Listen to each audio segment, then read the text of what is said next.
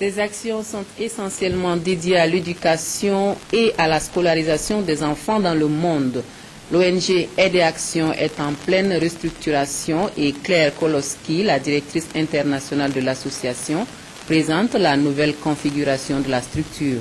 Elle est au micro de Évariste Kombari. Aide et Action, c'est une euh, association qui se bat depuis 28 ans pour que l'éducation de tous les enfants puisse euh, faire en sorte qu'ils aillent à l'école. Et c'est ça qui est important car euh, vous le savez bien que lorsqu'on a encore 75 millions d'enfants dans le monde qui ne vont pas à l'école, on peut se poser des questions sur le développement de ces pays. Régulièrement, euh, avec les agents des réactions, on se réunit en séminaire, on discute de nos problèmes, on partage, on renforce nos compétences.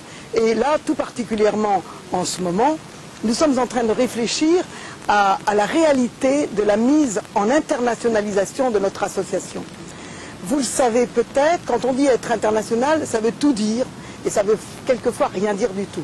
Mais pour nous, ça veut dire que l'on veut que l'ensemble des pays dans lesquels nous intervenons puissent décider ensemble de la façon dont ils répartissent leurs fonds, la façon dont ils développent leurs démarches, la façon dont ils travaillent dans les différents pays, parce que nous, nous sommes euh, profondément convaincus que pour travailler dans le domaine de l'éducation, il faut travailler avec l'État nous avons été obligés de réorganiser cette, association pour répondre aussi au fait qu'on est international et que l'on veut que, euh, au, niveau de la gouvernance, euh, l'ensemble des acteurs soient présentés.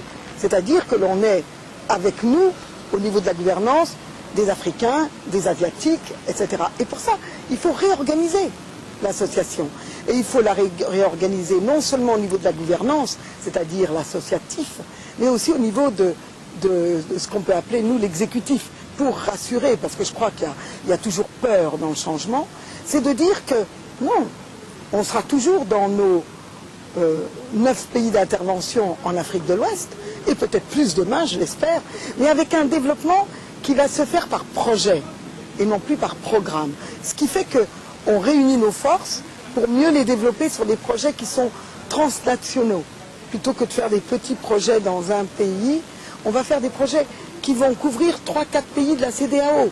Et ça, c'est plus logique.